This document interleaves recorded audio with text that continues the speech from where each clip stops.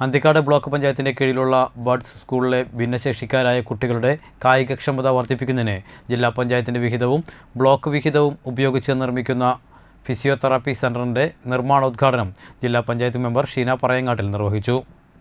അവരുടെ ക്ഷേമത്തിന് വനിതാ ഘടക പദ്ധതിക്ക് അങ്ങനെയൊക്കെ നീക്കി വയ്ക്കുമ്പോൾ തൃശ്ശൂർ ജില്ലാ പഞ്ചായത്ത് അതിന്റെ അഞ്ച് ശതമാനം തുക കഴിഞ്ഞ ഭരണസമിതിയുടെ കാലത്ത് തന്നെ തുടക്കം കുറിച്ച രാമവർമ്മപുരത്ത് ശുഭാപ്തി എന്ന പേരിൽ നമ്മുടെ ജില്ലയിലെ മുഴുവൻ പഞ്ചായത്തുകളുടെയും കോർപ്പറേഷന്റെയും മുനിസിപ്പാലിറ്റിയുടെയും ഒക്കെ പങ്കാളിത്തത്തോടു കൂടി വലിയൊരു കെട്ടിടം അവിടെ നിർമ്മാണം പൂർത്തീകരിച്ച് കഴിഞ്ഞിരിക്കുകയാണ്.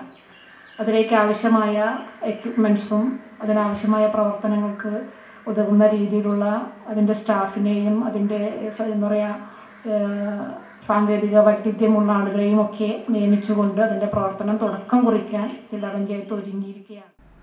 Anthikkad block panchayat president C K Krishnakumar അധ്യക്ഷത വഹിച്ചു.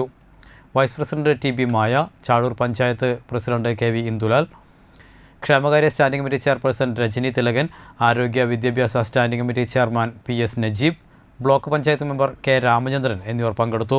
മുപ്പത്തിയഞ്ച് ലക്ഷം രൂപ ജില്ലാ പഞ്ചായത്തും ഒരു ലക്ഷം രൂപ ബ്ലോക്ക് പഞ്ചായത്തിന്റെയും ഫണ്ട് ഉപയോഗിച്ചാണ് ഫിസിയോതെറാപ്പി സെന്റർ നിർമ്മിക്കുന്നത്.